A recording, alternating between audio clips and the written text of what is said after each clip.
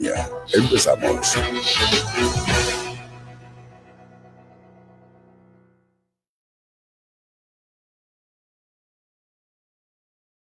Eh, un saludo para todos. Esto es Glass en línea por Radio Sonorama. Control no me está ponchando eh, la producción final, solamente creo que la cámara estática. Eh, tenemos dificultades técnicas, dificultades técnicas para el invitado, los apagones no siguen el, el horario establecido. Las ciudades, en especial las más grandes, están caotizadas, el tráfico inaguantable, los policías eh, de tránsito, la policía municipal insuficiente, como es de entenderse, no es una crítica. No hay forma de ciudades tan grandes con tanto tráfico, con tantos vehículos. Las circunstancias son distintas, son distintas a eh, lo que ocurría en la década de los 80 o la década de los 90 con los apagones. Hay más carros, somos más personas, más ciudadanos, eh, mucha más congestión vehicular. Es realmente triste. Andar por las calles de Guayaquil es triste, andar por las calles de Quito es triste, las calles de Manta, las calles de Esmeralda, las calles de Machara, las calles de Ambato, las calles de Cuenca. El país está caotizado. La delincuencia no para, el crimen sigue dando pasos de terror. Y bueno, yo tenemos un invitado muy especial, eh, el PhD Miguel Calahorrano, que es una persona que en particular admiro muchísimo, su hoja de vida es espectacular eh, cuando uno escucha un doctorado, se imagina una persona que ha sido académica toda la vida. No. Miguel viene de la dirigencia sindical. Fue gerente del INECEL, que era la máxima entidad en materia de electricidad aquí en el Ecuador. Ha sido ministro de electricidad. Ha sido diplomático en Europa. Así que me siento muy orgulloso, muy honrado de ser su amigo. Darle la bienvenida. Miguel, ¿cómo estás? Buenas tardes. Muchas gracias, Jorge. Ahí te escucho, Miguel. Eh, muchas Miguel, gracias, Jorge. Buenas tardes. Y yo digo que también soy, eh, fui eh, en el año de 1971, cuando era estudiante de la Politécnica, yo fui lector de medidores de la empresa eléctrica Quito. Ah, caramba. O sea, un obrero sí, sí. De, de, los demás abajo. Pues. es lo que te ponían a hacer cuando entrabas a la empresa. Miguel, sí, no, no quiero dejar pasar un momento en la entrevista, no es que me ría de la situación que vive el país, pero quiero decirte que te gané la apuesta del arroz con menestra y costilla del primer programa. Tú dijiste que el riesgo era medio alto. Yo te dije alto, rojo y te garanticé que iban a haber apagones. Desgraciadamente, Miguel, desgraciadamente para el país, te gané la apuesta y aquí estamos con el país cautizado. Miguel, he estado siguiendo. O yo voy para Quito, pero el arroz con menestra me lo paga, doctor Calorrano. Pero yo Por digo favor. porque el, los comunistas de Guayaquil es insuperable, pues no. Ah, bueno, nos vamos ahí al pique y pase. Hay un par de huecas que quiero mostrar. Miguel, eh, el país está cautizado. Eh, cae chancho decir, lo dijimos. Lo dijimos, tú estás en Quito. Eh, grandes del Ecuador. Tuve que ir firmar la penitenciaría el día de hoy se, se interrumpen las visitas, eh, la atención médica. Es una desgracia, es una desgracia.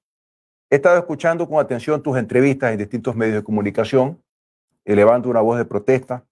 Y ojalá en el transcurso de la entrevista dar ciertas directrices, porque no lo digo en son de burla, pero tú eres un hombre de reconocida experiencia en el sector. Bueno, yo aprendí lo mío en la gestión pública en materia de electricidad, petrolera, telecomunicaciones, ya sabía. Y bueno, yo lo digo en, en, el, en, un, en la versión informal que tenemos los guayaquileños, decir, oye, pregúntame. Digo, señor ministro de Energía, que de enérgico no tiene nada. Digo, ministro, pregunte, pregúntele a Miguel. Pregunte a los que saben, ¿no? No sé, un Jorge Aramillo, un Jorge Glass, un Rafael Poeda. Digo, pregúntenos, pregunte. ¿Quién, quién decía esto? Eh, eh, Eugenio Derbez dice, pregúnteme, güey, pregúnteme. Miguel, bienvenido, bienvenido al programa. Lo impensable es lo cotidiano. No hay energía. Si no hay energía, los chicos no entienden que a veces se va el internet, te va el wifi de la casa. Yo alcancé a comprar un regulador para poner el wifi en la casa, así que lo único que no falta es internet, las baterías cargadas. Y bueno, ciertas sugerencias que adaptadas al siglo XXI, Miguel, porque se me ocurrió decir que tengan una radio a pilas. No, caramba, pues ahora todo es por el teléfono. Típico consejo del siglo XX. Miguel, bienvenido al programa. Nuevamente el Ecuador con apagones. ¿Cuántas de estas crisis has vivido en tu experiencia en el sector eléctrico del Ecuador? Eh, muchas gracias por la invitación, Jorge, y un saludo pues a, a tu audiencia, eh, a, todos los eh, quienes están escuchando esta entrevista. Un, un respetuoso saludo. Esto, mm, bueno, yo viví los del 92, 95, 97, 2009 viví eh, todos esos, ¿no? De una manera o de otra, en unos casos directamente, en otros casos indirectamente, ¿no? Pero sí, sí, viví todos esos. Ahora, eh, yo tengo una presentación que te envié, Jorge, y que me gustaría para hacer una para hacer una conversación técnica ver dónde se anudan las cosas porque en este momento todo se anuda en torno a el debate sobre el debate sobre cómo está Mazar, ¿no? O sea, Mazar es un poco en este momento el corazón de todo el sistema, porque si es que se logra meter energía nueva, si se logra eh, meter centrales térmicas, si se logra comprar energía, esto se busca ahorrar en Mazar para tener más en, reserva en Mazar. Si Mazar está, ya nos está entrando el sedimento por la cota 2115, entonces ya estamos mal. Eh, Miguel, si eh, quiero compartir una reflexión quiero compartirte una reflexión que he hecho en el programa. Eh, aclaro que el experto eres tú. Yo tengo experiencia, capacidad de gestión, una serie de cosas que además trabajé contigo, Miguel. Pero Miguel, yo dije, mira, aquí era claro, ¿quién da la voz de alarma de que hay que entrar a racionamiento? No la da el ministro, la da CENACE, el Centro Nacional de Despacho de Energía. Tengo yo la percepción, o mejor dicho, creo yo, creo con claridad, de lo que se estaba tratando de hacer era extender el plazo sin racionamiento, botando el agua de Mazar, para dejarle al gobierno entrante, al señor Daniel Novoa, presidente electo, eh, pocos días presidente de todos los ecuatorianos, tener que adoptar racionamientos de 8 y 10 horas en un cálculo yo ligero que yo hice. Miguel, recuerdo además que en una ocasión fue tal la crisis, no había Mazar todavía, en la central de Paute que tuvimos que pasar el sincronismo del sistema eléctrico a Colombia. No seamos muy técnicos, recordemos que la audiencia no lo es. Pero en todo caso, Miguel, querían votar el agua de Mazar, terminar esta gestión de este gobierno. Felizmente, los profesionales del Senado se dijeron, no, aquí tenemos que enfrentar este problema porque ya de hecho había un racionamiento no oficial que le decían desconexiones puntuales. Aquí en la ciudad de Guayaquil había apagones de dos horas, dos horas por distintos barrios y sectores. ¿Qué piensas tú? ¿Querían dejarnos sin agua en Mazar? Bueno, eh, yo creo que las circunstancias no se presentaron así y vamos a revisar con las gráficas que provienen de qué es lo que pasó. Es muy importante, tú tienes razón en ese sentido, analizar qué es lo que pasó, ¿no? Y todo se concentra de alguna manera en Mazar. Por eso mis primeros gráficos son primero mostrar nuestros almacenes de energía y luego los tres momentos de Mazar, agosto, septiembre y octubre, ¿no? Que es lo que tenemos en mi presentación. Yo eh, quisiera Por favor, la presentación de Miguel en pantalla para que Miguel nos explique. Yo trataré, Miguel, te voy a interrumpir, disculpa la molestia, pero tengo que explicarle a los que solo nos escuchan, los que no nos siguen por las pantallas de las redes sociales o la televisión, y, trataré de explicar eh, lo que estamos viendo en pantalla. Vamos a la lámina número dos. Dice la situación de crisis del sector eléctrico en octubre de 2023. Dice, la Reserva Energética 2022 se nace. Ahí está. Esa gráfica es de, lamentablemente, deberíamos tener esto transparentado y al día, pero el SENACE no nos da eso. Esta es una gráfica del año pasado de cómo se manejaron los embalses. Entonces tú ves que abajo, en una línea verde, ahora se queda pequeñita la, la, reserva de la presa de Amalusa, ¿no es cierto? Esta es la que está abajo. Y luego en azul, el área más grande es la de Mazar, ¿no? Y luego en gris, un poquito un poquito menos grande es Daule Peripa. Y luego arriba, la de verde, es Pisayambo. Antes, fíjate tú, Jorge, solamente peleábamos, disputábamos los, los apagones solamente con Amalusa y Pisayambo. Y entonces con eso nos era imposible. O sea, esas dos pequeñas líneas que se ven, la una celeste abajo y la otra verde arriba. Ahora, ya tenemos Mazar y tenemos Daule Peripa permíteme explicar esto. Hay un gráfico donde eh, se ve en distintos colores la reserva energética del Ecuador. Yo explicaba esto en anteriores entrevistas. Dice, oye, ¿y Coca-Cola? No, no, no. La reserva energética son represas de gran capacidad, como lo es Mazar. Antes de Mazar, solo teníamos la de Paute, que es Amalusa, ¿verdad? Me corrige, por favor. Amalusa, sí, sí. Amalusa. Es la de central de Paute, una central de 1100 megavatios, se la optimizó en la década progresista, antes era de 1000 megavatios, y teníamos una muy pequeña reserva energética con alta capacidad de generación en potencia o energía. Vemos que hay un gráfico, una línea muy chiquita, una franja celeste, es lo que había antes nada más. Luego vemos una gran franja en este gráfico del color azul, que es lo que representa Mazar. Yo explicaba que Mazar cuando, cuando estaba llena el espejo de agua, lo recorrió una vez en helicóptero, tenía 32 kilómetros. Si Quito, toda la ciudad de Quito, que es, un, es muy alargada, tiene 20, 22 kilómetros de largo, imagínense un espejo de agua que sea todo Quito más 10 kilómetros más todavía. Es decir, es una, es una represa impresionante y esa es la reserva energética del Ecuador. Luego tenemos un gráfico gris, que esto es la eh, Daule Peripa, una gran represa, pero con ¿cuánta potencia tiene instalada Daule Peripa para generar electricidad? Son eh, a ver, dos cosas, no. Tiene 213, que es la de, de Daule Peripa, y Baba, que son 45, o sea, da más o menos unos 250 megavatios de, potencia instalada, ¿no? Pero mm, así mismo. Pero la energía, claro. Pero el, el embalse de hoy día, Daule Peripa Baba, creció con Baba y le dio mucha mayor capacidad de energía a Daule Peripa, que trabajaba en un 60%. Lo que pasa es que son 250 megavatios con esa enorme capacidad que también tiene Daule Peripa, y luego no es pues como Mazar, que Mazar tiene bajo su control 1.700 megavatios de capacidad instalada, ¿no? Entonces, con lo que se almacena en Mazar, existe un potencial de 1.700 megavatios que son de las tres centrales, de Mazar propiamente dicha, de Paute Molino y de Sopladora, que es la, la Sopladora es la tercera central más grande que tiene el país, después de, después de, de, de Coca-Cola Sinclair, Paute Molino y Sopladora viene en tercer lugar. Y, con una particularidad, Miguel, que es la misma agua de Mazar. De Mazar cae a Paute, de Paute cae a Sopladora, y ojalá hubieran hecho Cardenillo para que Sopladora vaya a Cardenillo. No recuerdo de cuánto era, pero era una central importante. 500. Más o menos, es un poquito menos de 500 megavatios de Cardenillo, sí, sí, pero efectivamente es así, o sea, son centrales en cascada, ¿no?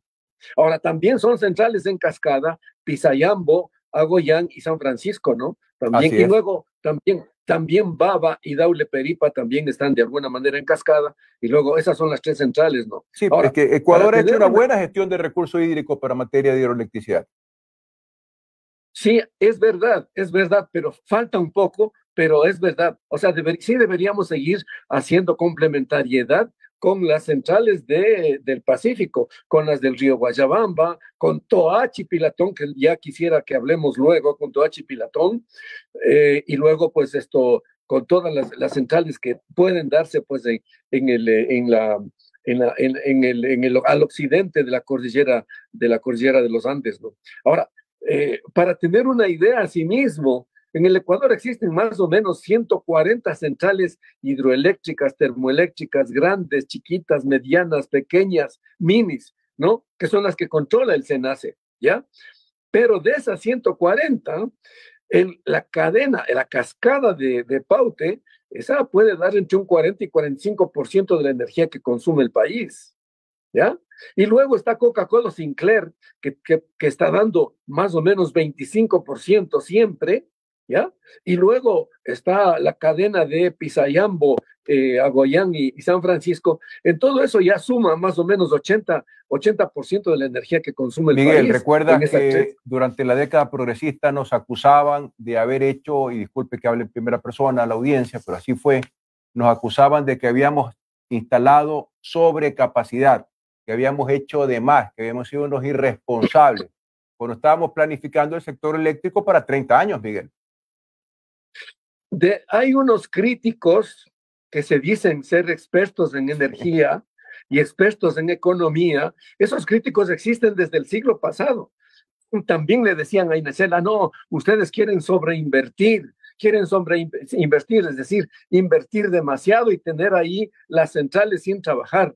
Resulta ser que siempre pasaba lo inverso, que no tenían a la hora que de, las necesidades del país, no teníamos para suministrar al país. ¿Y cómo les explicamos a esos ortodoxos neoliberales que el plan era la integración energética regional, era uno de los ejes de UNASUR, y que una de las ambiciones que teníamos los ecuatorianos era de vender energía a Chile a través de un sistema de transmisión eh, por el Perú, tal cual ocurre en los países europeos, se intercambian energía de acuerdo a los excesos o la deficiencia de cada uno de los países y las regiones. Este se llama eficiencia económica, Miguel. Yo, yo conozco unos, unos dos personajes de ese estilo que cuando te hablan, te hablan de potencia instalada. Y aquí hay que hablar de dos cosas, Jorge. Hay que hablar de potencia instalada y hay que hablar de energía, o sea, potencia por tiempo, ¿no? Entonces, eso es lo que la, gente no habla, ¿no? Y, a propósito de Coca-Cola Sintés, que ya hablaremos más adelante. Eh, bueno, lo, explico, veamos, el, gráfico de Mazar, Jorge. Ya, veamos el siguiente. Ya, eh, solamente trato de explicar el concepto de energía. Tú me corriges, Miguel, tú eres el experto.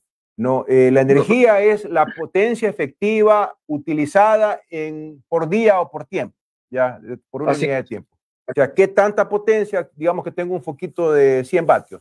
100 vatios es la potencia, pero bueno, ¿cuánto ilumina?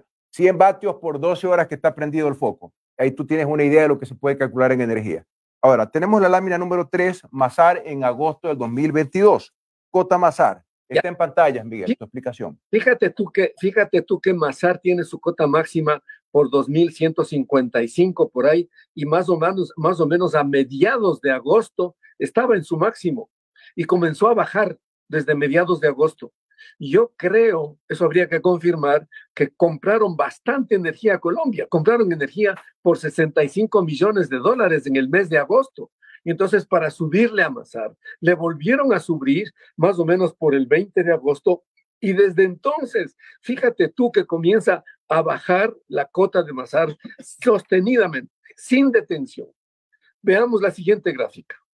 Estamos viendo un gráfico de la evolución de la reserva hídrica, la cota, es decir, el, eh, viene a ser la altura de, del espejo de agua, en donde vemos que hay una, una caída abrupta, pero hay una recuperación, que la única explicación lógica, porque no es que eh, la energía o el agua aparece de la noche a la mañana, es que se ha comprado gran cantidad de energía a México, perdón, a México, a Colombia, disculpen el lapso bruto, a, a Colombia, eh, y, y, claro, dejo de utilizar la, la, la reserva de, de Mazar, acumulo más agua y estoy comprando energía a Colombia para llenar la represa. Es una práctica correcta. Eso se llama el manejo inteligente del recurso de la reserva energética, el recurso hídrico. La siguiente lámina, por favor, Miguel. Ahora, esa es de septiembre. este ya es septiembre de 2023, solamente septiembre. Se ve una disminución desde la cota de 1151 aproximadamente metros sobre el nivel del mar. Está bajando a, caramba, 2140. 2140. En, un mes. 2140. En, un mes. En, el, en todo ese mes baja sostenidamente hasta 2130, 2150, perdón, baja hasta 2138. Sí. Durante todo el mes permanece bajando y durante todo septiembre nos, nos estuvimos comiendo la energía almacenada en Mazar. Eso es lo que nos dice este gráfico. ¿Ya? Vamos al siguiente, por favor. Vamos al siguiente. El siguiente es octubre. Sí, esto ya es, ya es dramático ya. Entonces, aquí ya estábamos yendo a una situación de crisis. Para los oyentes, estamos viendo un gráfico de la cota. La cota es el nivel de, sobre la altura sobre el nivel del mar de la superficie del espejo de agua. De 2140 en octubre, nos dice el gráfico, nos vamos a 2115 en 30 días. Ya es el mínimo. ya, es el mínimo. Ah, eso no sabía. Cuando llega a 2115 es muy peligroso. Es decir, ya no hay agua. Ya no hay agua a botar. Puede, entrar sedimento y pues, eso, pues, eso puede destruir las turbinas. Entonces ya no, ya no sé, eso sí es grave. Qué mala noticia. Fíjate una cosa aquí, una cosa aquí, Jorge. El 15 de octubre, ¿qué tenemos el 15 de octubre? O sea, el 15 de octubre fueron las elecciones. O sea, el 15 de octubre ya sabían que nos estábamos yendo a una situación de crisis, pero no lo anunciaron. ¿Ya? Hubiera tenido un profundo impacto en las elecciones, ¿ah? Por supuesto. Claro Por supuesto, porque ya estamos en. Cambia el humor social, rechaza el sistema establecido, al status quo. Claro. Claro. O sea, estábamos ya en la cota 2125. O sea, 10 metros por encima de lo que estamos ahora ya, que es lo, mínimo que puede haber. Y esta es la realidad actual. O sea, estamos en ese nivel y no logramos superar de, ese nivel. Entonces estamos en crisis, ¿ya? Estamos en crisis. Este es, este esto es la, la, la historia que viene desde agosto, que fíjate tú, Jorge, desde más o menos el 20 de agosto hasta, vamos a decir, por decir algo, el 20 de octubre, han sido dos meses que Mazar logró sostener la crisis. Miguel, el gráfico dice octubre 2022, es un error, ¿verdad? Estamos hablando del 2023. Ah, sí, sí, es 2023, de acuerdo. perdón. Tome nota la audiencia que nos sigue por las redes sociales y por la televisión. Estos gráficos, estos gráficos provienen de la SELEC, ¿no? O sea, yo no me he inventado nada aquí. Lo único que he hecho es que la Select tiene a disposición estos gráficos y uno puede, cualquier persona puede sacarlos y es lo que yo he hecho aquí. Miguel, este, tenemos que hacer una pausa, una primera pausa aquí en Glass en línea y volvemos por la señal de Sonorama y Radios Amigas, que me he olvidado de nombrar, ya lo voy a hacer más adelante. Con gusto, con gusto. Esto es Glass en línea. Únete a la conversación.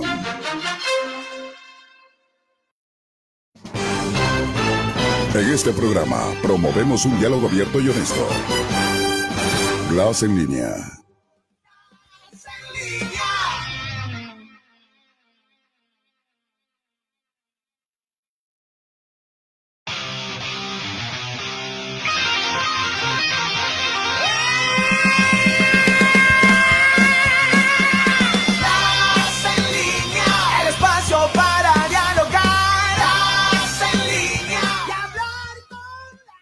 Estamos de vuelta por Radio Sonorama en el programa Glass en línea. Soy Jorge Glass y nos acompaña el PhD Miguel Calahorrano. Las cifras que presentas, eh, Miguel, son realmente dramáticas. Me acabas de decir que ya no hay agua que soltar, que botar de la represa de Mazar. Es muy grave. Por favor. Así es. Así es. Efectivamente, ya estamos en el nivel mínimo y por lo tanto solamente la energía que provenga, una nueva energía que provenga de, de otros, otro lado que no sea amasar, puede sostener al sistema. O sea, amasar por sí mismo. No sé si pasamos a ver la siguiente, que es al día de hoy. Ese esto es lo que ha pasado el día de hoy, fíjense ustedes.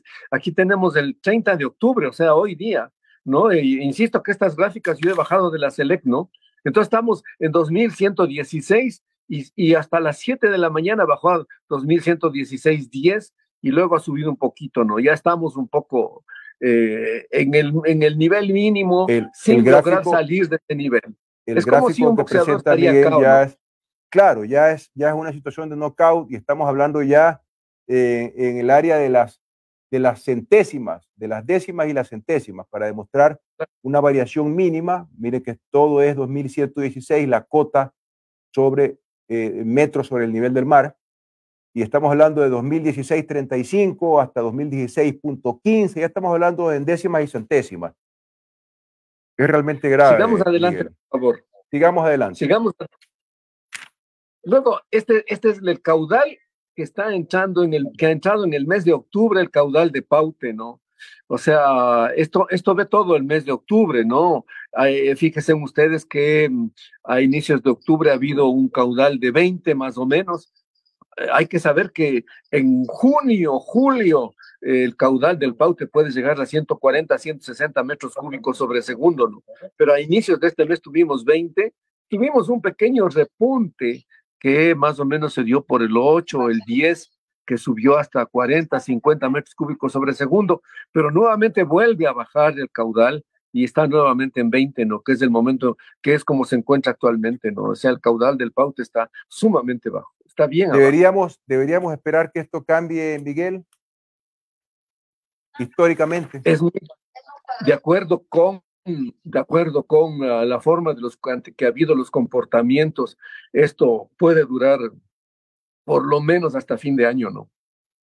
Esta situación del eh, caudal. yo te comenté que hice una, una comparación, no, no tan científica, pero del comportamiento de los recursos hídricos en, en, en Mazar, o bueno, en, en Paute, lo que era Paute, pero el cambio, o sea, la disminución, la sequía, por así decirlo, el estiaje, que es el nombre, el nombre correcto, es radical y puede extenderse hasta el mes de febrero o marzo. Ese es el riesgo. Así es, así es. Normalmente es así. Normalmente es así. Sigamos con el siguiente gráfico. Caudal de Paute en octubre de 2022. ¿Está correcto? este ya vimos.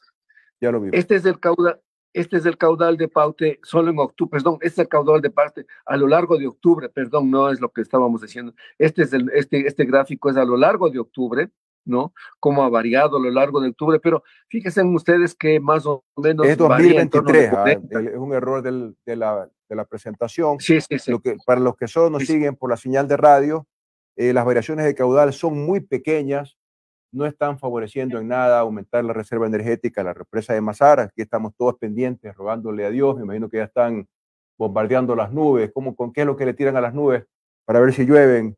Miguel, eh, no recuerdo.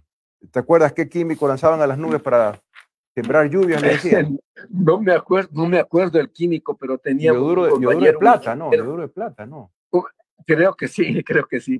Esto pues. tenía un compañero que se encargaba con un ingeniero italiano, me parece, de hacer este asunto con, con unas avionetas para que llueva, porque no, debe llover en Pero no, no, no funcionaba siempre, Ale. Yo creo que hay ahí. En fin, hay más era la gana que más era la gana que le poníamos que lo que lográbamos. Sí, más, más, era la esperanza, Miguel, más era la esperanza. Sí, sí, sí, sí, así es. Eso, eso hicimos mucho en el 92, en el 95 y en el 97. Eso hicimos mucho en, el siglo pasado. En esta vez también, también en el siglo XX se utilizó, me parece, en la crisis que hubo en el año 2009. Estoy casi seguro de que sí. En el 2010 no creo, no sé. Bueno, sigamos adelante. sigamos Yo me quedé sin láminas ahí. Hay otra. Ah, ah no, ya es la segunda parte. Sí la tengo, sí la tengo. Ahora, esto, esta es la. Sistema Nacional Interconectado al 30 de octubre del 2023, para los que nos siguen solo por radio. Esto es, esto es el día de hoy. Esto es el día de hoy, Jorge. Mira, fíjate tú que mm, ahí se puede ver que el día de hoy se está produciendo 72% de energía hidroeléctrica. Aquí hay que notar siempre la presencia predominante de Coca-Cola Sinclair, ¿no? Aquí se puede ver Coca-Cola Sinclair, yo no alcanzo a ver en este instante, pero... Es, brutal, la verdad es que... O sea, está produciendo el, 30, el 31% de la, Sinclair el 31% de la energía está produciendo hoy día Coca-Cola Sinclair. Es que hay que saber otra cosa, Jorge. Es verdad que hay un divorcio, un acuerdo central que divide la cuenca del Amazonas de la cuenca del Pacífico. Pero eh, el comportamiento del Paute en la, región del Paute, en, el páramo de la Virgen más concretamente, no es el mismo que el comportamiento de la pluviosidad en la, en la cuenca del, del, del río Coca no es el mismo del Quijos Coca, no es el mismo comportamiento. Y sí es verdad que el, caudal del Coca está bajo, pero tiene sus crecidas y, tiene también, es como, no, y es, central y es constante. Es un central de paso. eso, precisamente. Coca-Cola es una hidroeléctrica de paso. ¿Qué significa eso? Que no, tiene, no tiene una represa, no tiene, no, represa agua. No que toma el agua, la desvía del río, que tiene un caudal importante, el río, el río Coca, caramba, pasa por las turbinas y regresa al caudal del río más adelante. Es una central de paso. En el, en el Codo Sinclair. claro, en el área En el Codo Sinclair. Sí, sí. Ahora, esto, eh, yo estuve en los estudios entre el año 85 y el 92. Yo estuve haciendo un trabajo de instalación de equipos de medición de sismografía y entonces, cuando, cuando en esa época, Miguel, eran verdaderas expediciones en medio de la selva. Todo eso claro, son historias impresionantes. Yo tú me las has contado. Fueron unos, fueron unos estudios bastante profundos. Esto hay que decirlo porque hay mucha gente que, una, una gente que miente, otra gente que por ignorancia dice cualquier cosa y otra gente que, que simplemente no sabe. Se hicieron unos estudios, unos muy buenos estudios entre el 85 y el 92. En medio hubo el terremoto y nunca se quiso hacer una represa que podría haber sido en la cuenca del río Quijos. Si hubiesen inundado una cantidad de pequeños pueblitos en ese tiempo, hoy día, pueblos bastante grandes como, qué sé yo, por ejemplo, el Chaco, Santa Rosa. No existirían. Si hubieran, hubieran inundado, y eso nunca se quiso hacer. Por eso se pensó que siempre era una central de paso, ¿no? Entonces, ahí se puede ver el día de cómo es que el día de hoy aporta eh, Coca-Cola Sinclair. Y fíjate tú la reducción casi al... Algo pasó, producción. Eh, bueno, eh, estamos viendo un gráfico donde se ven los componentes de la generación, es decir, cuánta generación es hídrica, de qué central hidroeléctrica en particular, y vemos el peso el peso de Coca-Cola Sinclair. Coca-Cola Sinclair jamás fue conceptualizada para ser una central hidroeléctrica con represa. Tiene un pequeño reservorio que se llena en el transcurso del día para soltar el agua en la hora de máxima demanda de 7 a 10 de la noche. Queda vacío ese pequeño reservorio y se vuelve a llenar al día siguiente. Miguel, estamos de vuelta con las fallas del Internet que que causan estos cortes de energía. Explicaba un poquito el concepto de Coca-Cola Sinclair, de que tenía un pequeño reservorio para soltar hasta 300 megavatios en horas de máxima demanda. Yo me imagino que tú también conoces, Miguel, la central Es el embalse compensador, sí. El embalse compensador es, un poquito más grande. que tiene...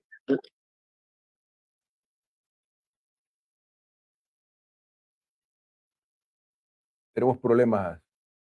Eh, Miguel, te escuchamos, Miguel. Te escuchamos.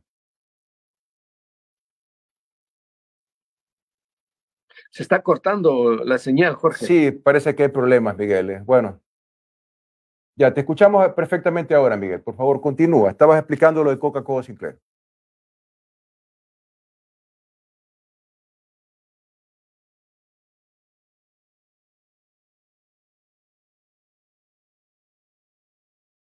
Eh, bueno, aquí tenemos otro problema en estos racionamientos de energía que le llamaban desconexiones puntuales, tan puntuales que son en todo el Ecuador, necesitamos claridad en, en las horas de los cortes. La verdad es que la ciudad se cautiza más si no sabes cuándo te van a cortar y a qué hora te van a reconectar, si la reconexión es a las 5, a las 5 y 20, a las 5 y media y un largo etcétera, para poder organizar nuestras vidas con esta vaina que le dirían, si fuera en tiempos de pandemia, la nueva normalidad. La nueva normalidad es que en este país no hay energía, eh, quiero hablar con Miguel, ojalá que se recupere la conexión. Miguel, eh, creo que es muy importante, bueno, eh, seguimos con tu presentación, pero quiero que quede tiempo para que hablemos del descalabro en el parque termoeléctrico público y privado del Ecuador. Creo que eso merece un, un poco más de debate y de explicación para la audiencia, para los ciudadanos. Miguel, continúa, por favor. Estabas hablando del embalse compensador de Coca-Cola Sinclair. Claro, el embalse compensador tiene dos funciones. Uno, la de acumular el agua para lograr ese momento de máxima, de entrega de máxima potencia de la central, pero al mismo tiempo sustituye a lo que es la, a, la función de la chimenea de equilibrio, porque la chimenea de equilibrio busca eh, colocar la presión atmosférica sobre el agua e impedir que ingresen bolsas de aire a los generadores que podrían eh, causarles graves, eh, graves problemas. ¿no? Lo, Entonces, eso es lo que hace también el embalse compensador explico los en, el caso de Coca-Cola Sinclair. Es un diseño que se hizo, pues. Fue impresionante. Yo trato, seguimos con problemas de, de corte de comunicación, pero trato de explicar un poco de manera más sencilla lo que dijo Miguel. Hay un pequeño reservorio que tiene doble función, acumular un poquito de agua para garantizar el flujo continuo de agua. Imagínense que ustedes que el, paso de agua a la turbina estaría permanentemente variable de acuerdo al caudal. No, pues aquí se acumula un poquito de agua y garantiza el flujo en las cantidades que se requiere para las turbinas. Y aparte de eso, el, la chimenea de equilibrio, ¿qué significa eso? Hay una cosa que se llama el golpe de ariete. Golpe de ariete, ¿qué significa? Imagínense el golpe de agua, tremenda cantidad de agua, contra una, eh, cuando, cierras las compuertas para que no pase agua a las turbinas, el golpe de agua podría hacer explotar toda, toda la central hidroeléctrica. Entonces se hace una chimenea hacia arriba para que hacia allá fluya eh, la, la, energía de ese golpe de agua, lo que se llama el golpe de ariete, se va para arriba como que le hayan puesto un tubito mirando hacia el cielo.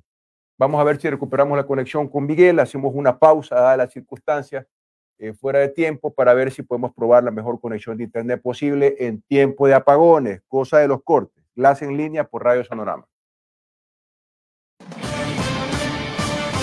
Esto es Clase en línea. Únete a la conversación.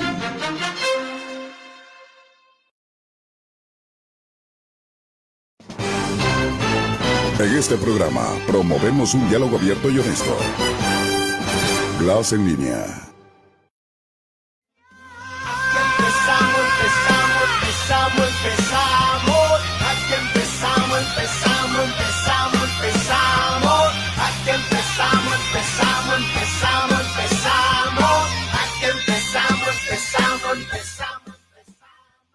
Eh, estamos de vuelta con Glass en línea, tiempos de apagones, tiempos de cortes, tiempos de latencia en el Internet. Miguel, estamos de vuelta contigo. Traté de explicar, tú y yo, en el infinito esfuerzo de explicar las cosas técnicas, las cosas técnicas de la manera más sencilla.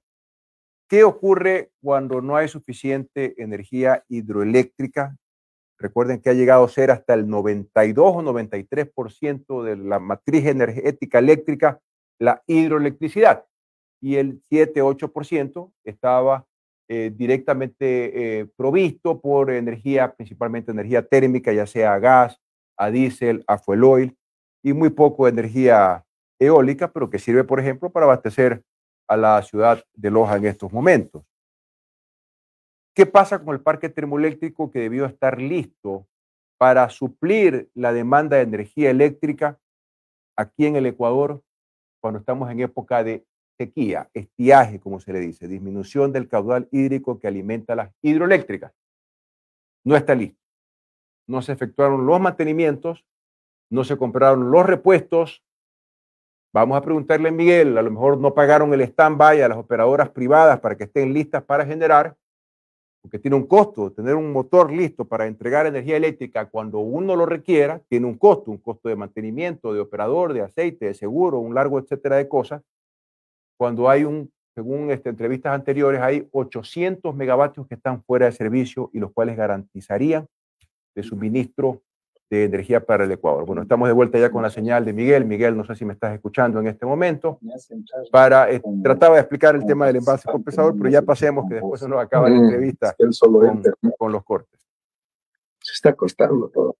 Sí, sí, Miguel, sí, es la verdad. Es un desafío hacer producción en vivo con, con estas limitaciones. Se volvió a cortar.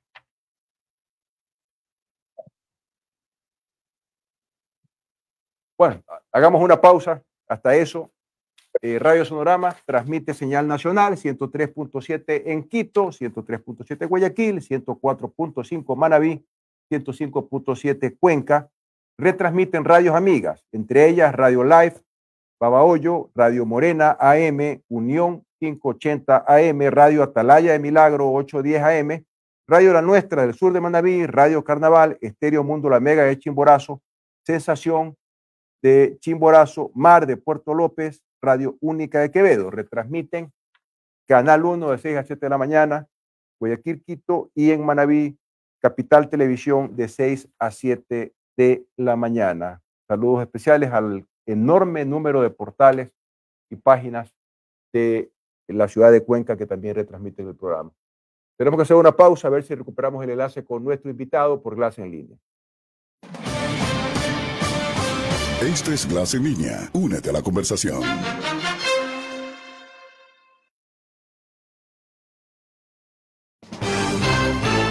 En este programa promovemos un diálogo abierto y honesto. Glass en línea.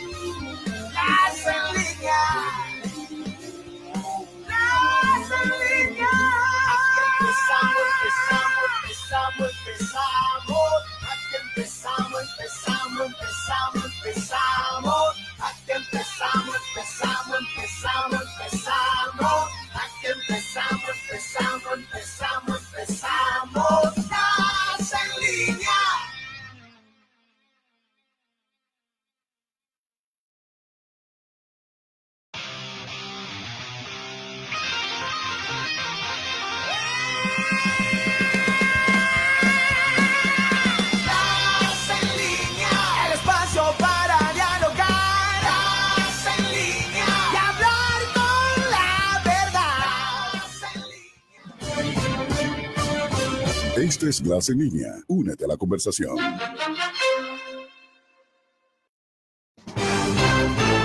En este programa promovemos un diálogo abierto y honesto.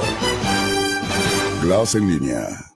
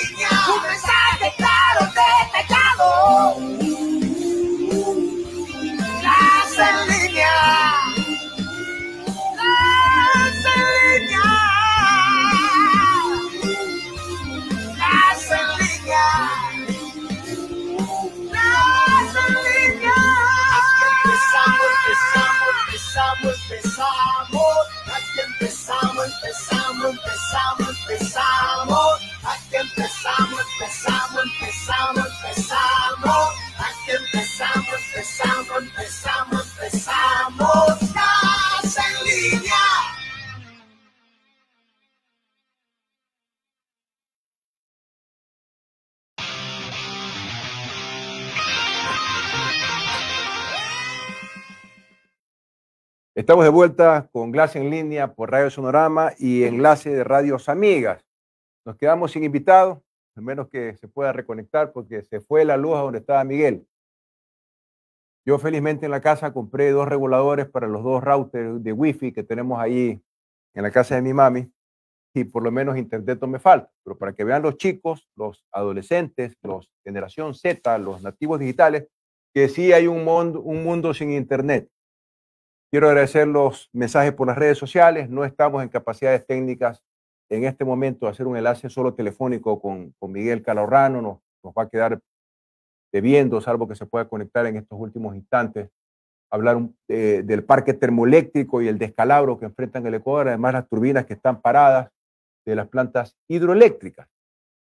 Pero un, un país, eh, no, no es para mí la señal, es que estamos en vivo, la verdad es que es un enorme desafío en época de apagones salir en vivo. Felizmente, en este momento sí tenemos energía eléctrica en el estudio. El día viernes no tuvimos, tuvimos que grabar, diferir y hacer una serie de peripecias para poder eh, coordinar con los invitados que no están en la ciudad de Guayaquil, que a veces están en Quito o inclusive en otras partes del planeta, que puedan conectar con las dificultades que representan los cortes de energía, porque se suspende también el servicio, el servicio de Internet en las casas, en los puntos intermedios donde no estaba previsto. Miren ustedes que en la década de los 90, comienzo del siglo XX, lo normal es que cada negocio tuviera su propio generador, con los costos que ello implica, no solamente en la inversión de un generador para sustentar tu operación eh, económica, comercial, productiva, tenías que tener para el mantenimiento, el técnico, el diésel, el ruido, el aislamiento. Parece que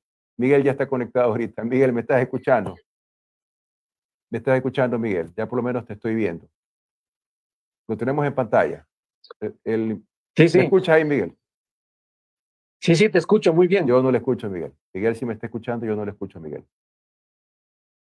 Ah, no, yo sí, yo sí estoy escuchando muy bien. Perfecto, ya estamos conectados. Ahora sí, Miguel. Estaba haciendo yo comentarios del parque termoeléctrico. Estábamos conversando con Guido Rivadeneira, me parece, hace pocos días, y él me explicaba que de 2.000 megavatios públicos y privados, generación térmica 800 estaban fuera de servicio. Eh, quisiera que tú valides o corrías esta información de ser el caso. ¿Por qué el parque termoeléctrico no está listo para operar cuando se lo requiere? ¿Por qué están paradas las máquinas? ¿Están parados los generadores? Eh, presumo se dejó de pagar el stand-by, el stand-by para los operadores privados que eh, decíamos antes, tienes que estar listo con tus tanques llenos de diésel o de fuel lo que sea, tienes que estar listo cuando yo te diga me entregas energía, pero para eso hay que pagar un, un stand-by mensual para que estés siempre listo para despachar el generador eléctrico.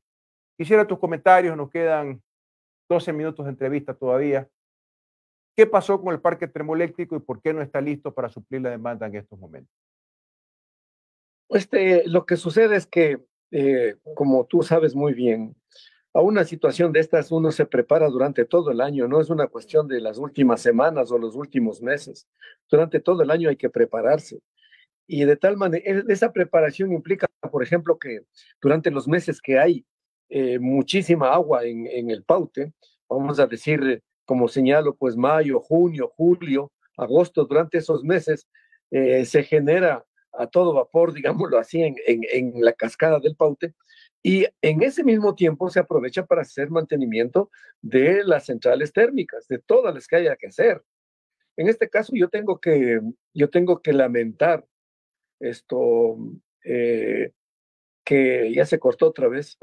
Te escucho, te estamos escuchando. Hola, hola Jorge, ¿sí yo sí te escucho, Miguel, se quedó congelada la imagen, pero sí te escucho. Hola. Otra vez. Sí, otra vez. Ya se, cortó, ya se cortó otra vez. Sí le escucho a Miguela. Por favor, corten el audio mientras corrigen el problema. Bueno, no han estado las maquinarias listas para operar, no se ha pagado el stand-by, no tienen los repuestos, no tienen suministro de combustible.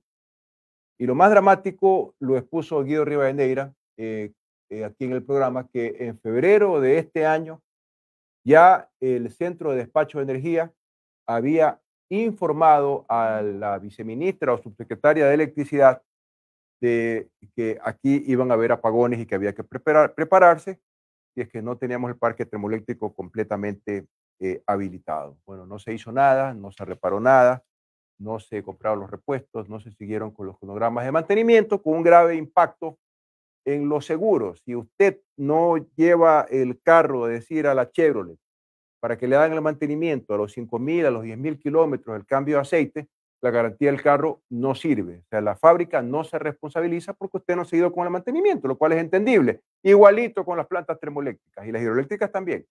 Si no se realiza el cronograma de mantenimiento con las personas autorizadas, con la empresa autorizada, con los ingenieros autorizados, el seguro dice, yo no le puedo garantizar nada, no le puedo devolver nada, porque usted no ha cumplido con lo que tenía que hacer, no ha hecho su trabajo.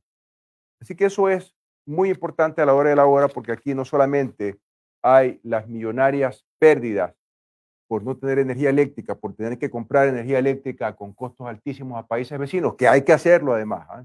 estoy muy claro, hay que hacerlo, no hay energía más cara que la que no se tiene, pero habrá que cuantificar cuánto pierde el sector comercial, cuánto pierde el sector turístico. Estamos a puertas a un feriado muy importante de cuatro días para los ecuatorianos, que debería ser, caramba, la tabla de salvación para eh, hoteles, restaurantes, para personas que trabajan en las playas, los transportes, eh, transporte turístico autorizado y un largo etcétera, que son parte de la matriz productiva de, de un país. Para eso se hicieron los puentes por ley, para que el sector turístico y comercial pueda planificar ordenadamente.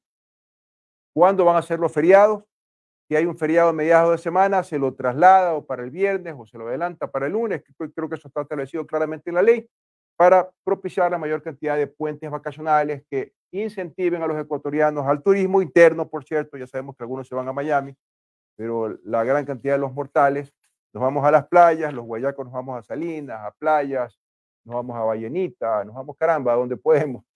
Y en, en, la, en la sierra, pues, a dos horas de Quito hay infinidad de atractivos turísticos. un poco más lejos la playa también, con hermosas y extensas playas. Así que ecuatorianos estamos en tiempos de escasez de energía, de falta de energía, de racionamientos.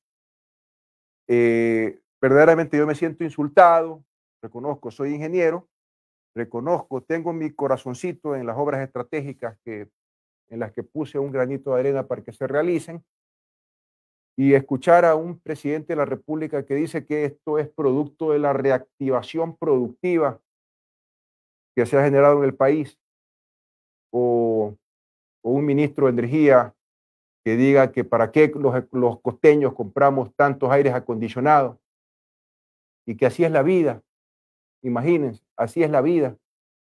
Cómo se le nota al ministro Santos Albite que no es ingeniero, pero algo debió aprender en el transcurso de su vida que le hubiera permitido comprender la magnitud del desastre que se estaba gestando en, en el sector energético del país. Y hablaremos de Petroecuador y hablaremos de otras empresas públicas.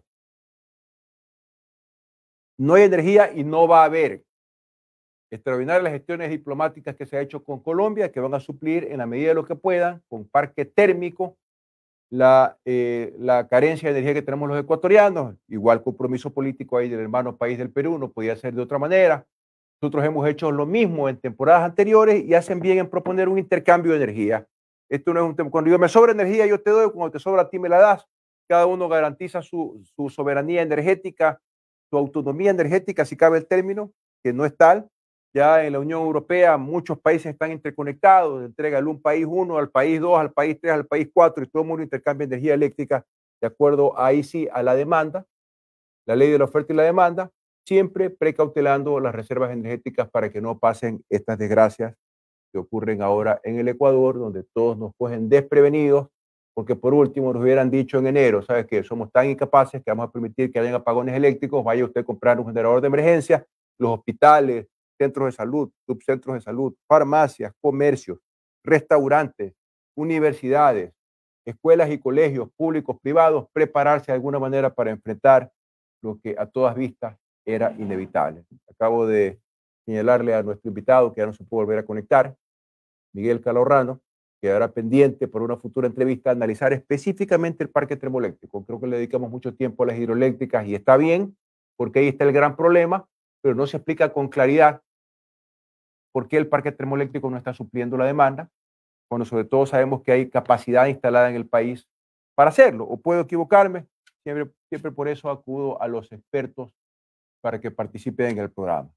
Tengo que despedir el programa de hoy. No pudimos reconectarnos con nuestro invitado. Quiero agradecer la transmisión de Radios Amigas, la retransmisión de Radios Amigas, que voy a leer a continuación. Bueno, estamos por Radio Sonorama, señal nacional, 18 transmisores, la radiodifusora más importante de todo el país. Ustedes pueden vernos por redes sociales. los transmisores Pichincha, Guaya, Cotopaxi, Tunguragua, Chimborazo, Loja, eh, Santa Elena 103.7, Manaví 104.5, Esmeraldas 91.1, eh, La Suay está en 105.7, Cañar también está en 105.7, y bueno, un largo número de transmisores y se retransmite por radios amigas como Radio Live de Babahoyo 99.5, Radio Morena 640 AM, Radio Unión 580 AM, Radio Atalaya Milagro 810 AM, Radio La Nuestra 93.3 del sur de Manabí, Radio Carnaval 96.9, Estéreo Mundo de La Mega 90.5 de Chimborazo, Sensación 102.9 de Chimborazo, Mar 96.5 de Puerto López, Radio Única 93.5 FM en Quevedo. Un saludo para todos los que nos siguen por las radios a nivel nacional. Retransmite Canal 1 de 6 a 7 de la mañana y Capital Televisión en Manaví de 6 a 7 de la mañana. Despedimos el programa hasta el día de mañana. Veremos si es posible seguir haciéndolo en vivo en estos tiempos de apagones. Se fue la luz y a ver cuándo regresa. Será hasta el programa del día de mañana por Radio Sonorama. Muchas gracias. Juntos podemos trabajar para un Ecuador mejor.